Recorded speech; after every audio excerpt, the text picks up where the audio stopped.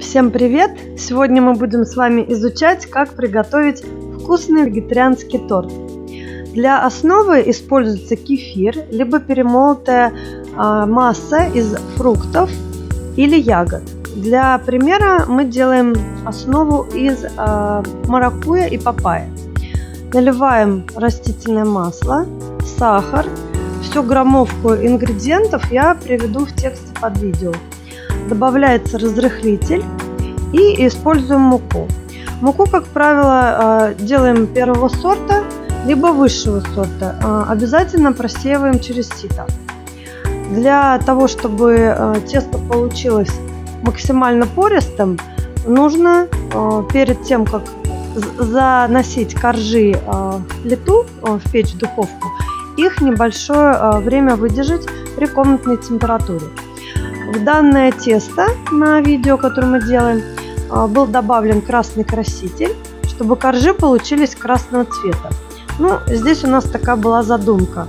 И в то же время можно а, делать тесто шоколадным, можно добавлять кэроп, можно а, добавлять цедру апельсина, тогда получится горчица, а, горчинка небольшая.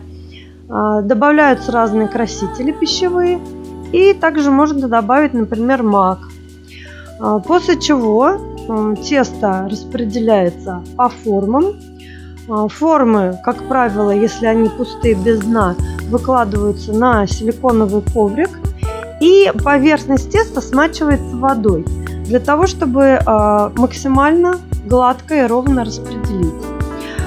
Духовка нагревается до 180 градусов и при этой температуре коржи выпекаются примерно где-то около часа. Пока пекутся коржи, мы перетираем творог. Вот э, на данном видео у меня заранее были приготовлены коржи испеченные. Э, и э, мне осталось их только разрезать. Толщина порядка сантиметра. Если делать толще, то получается, что крем не пропитывает коржи. И для того, чтобы э, бисквит хорошо резался, можно использовать толстый э, кухонный нож, нож повара, э, шеф-повара, либо можно использовать струну. Творог мы смешиваем с небольшим количеством сметаны, потому что если будет чистый творог, крем получится очень густой. И э, разбавляем его либо с сахаром, либо с сахарной пудрой, я же использую профессиональный подсластитель, поэтому такой торт подойдет даже для диабетиков. А, свой торт мы решили украсить крупными фигурами и для этих целей а, перемололи попкорн и смешиваем его с сахарной мастикой. После чего из этой массы можно формировать крупные фигуры. Я раскатываю заранее приготовленную мастику красного цвета и вылепленные фигуры обтягиваем мастикой. Смачиваем все это водой для того, чтобы э, фигура разровнялась по своей плотности. И получается вот такой красный перчик.